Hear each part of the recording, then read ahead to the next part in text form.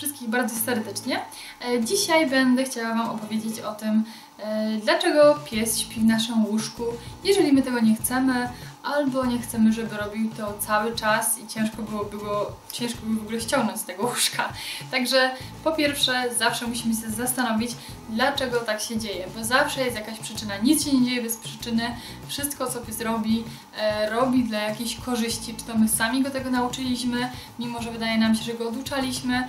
E, no skąd, skąd się muszą brać tego zachowania i przekonania, że coś jest słuszne i może czasami mu się wydawać, że tego od niego po prostu wymagamy i tego go nauczyliśmy, a my uważamy całkowicie inaczej.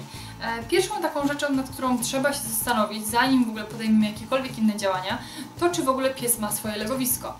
E, to może się wydawać dziwne, no ale niestety no nie każdy pies ma swoje legowisko, a jeżeli ma, to na przykład jest ono w kiepskim stanie, jest w ogóle nieprzyjemne, niezachęcające do odpoczywania w nim. Jest na przykład brudne, e, jakieś niewygodne, niekomfortowe, złej jakości. To też naprawdę wpływa wszystko e, na to, czy pies chętnie tam przebywa. A kolejna rzecz, jeżeli to już jest super ekstra legowisko wypasione, to czasami jest umiejscowione w całkowicie złym miejscu. E, zbyt głośnym, zbyt y, nasłonecznionym, zbyt gorącym, e, zbyt bardzo takim oświetlonym. Może być naprawdę wiele w przeciągu, wiele rzeczy może na to wpływać, że pies się niekomfortowo tam czuje, więc możemy pomyśleć, gdzie rzeczywiście warto byłoby je umiejscowić. Kolejna rzecz to na przykład to, czy mm, czasami pytacie, czy pies warto, żeby miał kilka legowisk. To wszystko zależy od miejsca, w którym mieszkacie. Jeżeli to jest na przykład duży dom i na przykład w nocy śpicie w sypialni i pies z Wami tam śpi na swoim legowisku i to jest jedyne legowisko, które macie, ale w ciągu dnia schodzicie na przykład na dół na parter i tam cały dzień po prostu przebywacie, to ciężko troszeczkę wymagać od psa, żeby on tam wracał do tej sypialni i tam odpoczywał. Jeżeli chce być blisko Was i gdzieś tak Was obserwować, uczestniczyć w tym życiu codziennym. Oczywiście są takie psy, które i tak sobie tam idą i świetnie się mają, ale są psy różne są, pies psu nierówny. Także tu musimy wziąć pod uwagę, czy nie warto by było właśnie na przykład kupić jakiegoś legowiska, maty, yy, czegokolwiek, gdzie będzie się też czuł komfortowo w kolejnym pomieszczeniu, gdzie przebywamy na co dzień. To też może być rozwiązanie. E, no ale właśnie musimy wyjść od tego, czy legowisko, jakie zaoferowaliśmy naszemu psu i miejsce jest na pewno e, najlepsze. E, kolejna rzecz. Czasami jest tak, że pozwalamy na to. I czasami jest też tak, że jeżeli w domu mieszka kilka osób, opiekuje się psem, to na przykład trzy osoby e, grają do jednej bramki i w jednym celu podążają w wychowaniu psa, a jedna jest całkowicie na przekór i totalnie się nie dostosowuje do tego, co inne osoby robią i całkowicie e, psuje efekty pracy tamtej pozostałej trójki.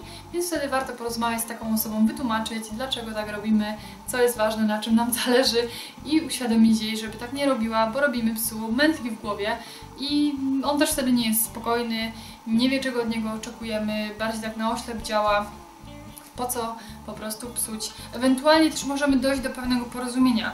Na przykład posłuchać, dlaczego ta osoba pozwala psu na pewne rzeczy, kiedy my tego bardzo nie chcemy i ewentualnie dojść do jakiegoś porozumienia, jakiś taki złoty środek znaleźć, żeby rzeczywiście E, wszyscy robili tak samo i wychowywali psa w ten sam sposób. Czasem też problem wynika z naszej niekonsekwencji i tutaj e, wiem, że jest taki typ osób, które generalnie by nie chciały, żeby pies leżał na kanapie czy na naszym łóżku, bo to też możemy rozdzielić.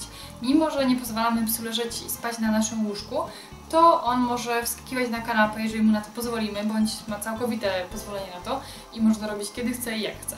E, więc tutaj musimy się zastanowić właśnie, jaką obieramy strategię i to jest niezwykle ważne, bo właśnie taka niekonsekwencja typu, że e, śpimy sobie i budzimy się rano, mamy ochotę, żeby ten pies wszedł do nas do łóżka i on tak nawet niepewnie troszeczkę, ale my go tak wciągamy pod tą kodrę, no, no dobra, no to już leżę. E, więc, y, a później na przykład ten pies podchodzi i gdzieś tam łapami staje i o, znowu może bym wszedł do ciebie, e, a my nagle nie, zejdź stąd i w ogóle go odpychamy. Tworzymy totalny mętlik w głowie psa i pies nie rozumie o co nam chodzi. Bo dlaczego raz mu na to pozwalamy, a raz w ogóle jakąś agresją na niego reagujemy.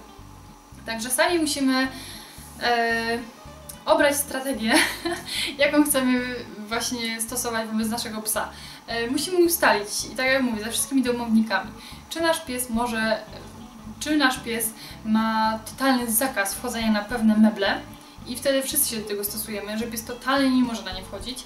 Ewentualnie kolejna kategoria to, że pies może wskakiwać, jeżeli mu pozwolimy i zachęcimy go do tego, ale jeżeli chcemy, żeby zszedł, to również zna komendę zejdź i robi to bez problemu, może ją powiedzieć idź spać do łóżeczka, Zuzia zna taką komendę na przykład idź spać i ona wie, że wtedy e, mimo, że ja jej na przykład pozwalam wchodzić na różne kanapy, meble i tak dalej, nie mam z tego z tym problemu, e, ale jeżeli jej powiem po prostu jedno słowo wystarczy, Zuzia idź spać, to ona wtedy po prostu idzie do swojego legowiska i nie ma z tym najmniejszego problemu. Więc to jest kolejna opcja, którą możemy zastosować, że mamy taką kontrolę nad psem i to się nie wiąże u psa z żadną taką frustracją, poczuciem smutku, e, tylko rzeczywiście pies jest tego nauczony i wie, że też w łóżeczku super mu się śpi i fajnie może spędzać czas.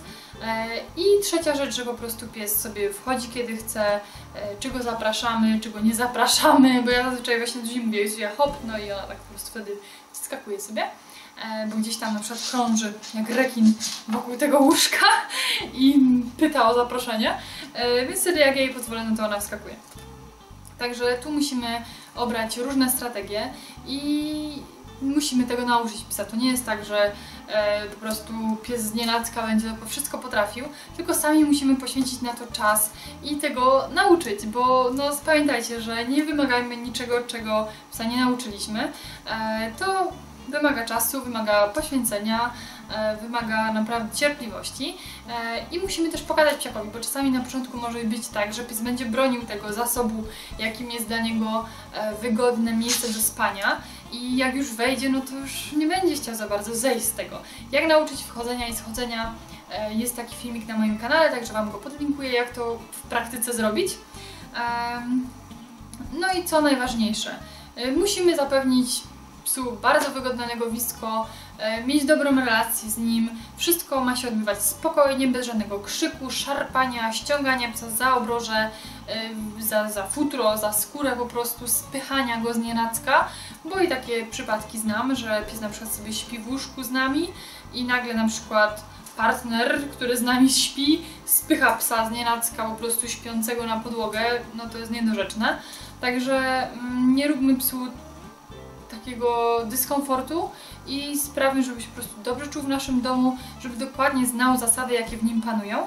No i musimy sobie zdać z tego sprawę, że nasze łóżko zawsze będzie dla psa e, takim bardzo wygodnym miejscem do spania, jest przesiąknięte naszym zapachem, jest wygodne, jest duże, jest kołdra, no jest po prostu super, więc, y, więc musimy wziąć to pod uwagę, ale my też musimy pokazać psiakowi, że inne miejsca również są bardzo wygodne poprzez właśnie dawanie mu tam zabawek, poprzez podchodzenie do niego, jeżeli psiak sam śpi w łóżeczku, to podchodźcie do niego, pogaszcie go, pogaszcie go, posiedźcie przy nim trochę, podrapcie go za uchem, podrapcie go o pleckach, e, po prostu pokażcie mu, że nie tylko kiedy skoczy do nas na kanapę, to my go w ogóle głaszczamy i zwracamy na niego uwagę, bo tym bardziej będzie chciał z nami tam przebywać. Tylko właśnie też spędzajcie z nim czas, usiądźcie na podłodze, pobawcie się z nim trochę w tym łóżku nawet, dajcie mu zabawkę do gryzienia, bądźcie przy nim, wspierajcie go i dopingujcie w wyciąganiu smaków, na przykład z jakiejś zabawki, E, I to wszystko sprawi, że psiak równie mm, chętnie będzie przebywał w swoim miejscu, a niekoniecznie upatrzył sobie jako cel nasze e, miejsca, gdzie wypoczywamy. Mam nadzieję, że filmik Wam się przydał. Jeżeli macie jeszcze jakieś pytania, to koniecznie zadawajcie je odnośnie tego filmu w komentarzach. Dajcie kciuka w górę, jeżeli chcecie takich więcej filmów. No i subskrybujcie mój kanał, jeżeli chcecie wiedzieć więcej o psach. Dziękuję Wam bardzo za uwagę. No i do zobaczenia. Pa, pa!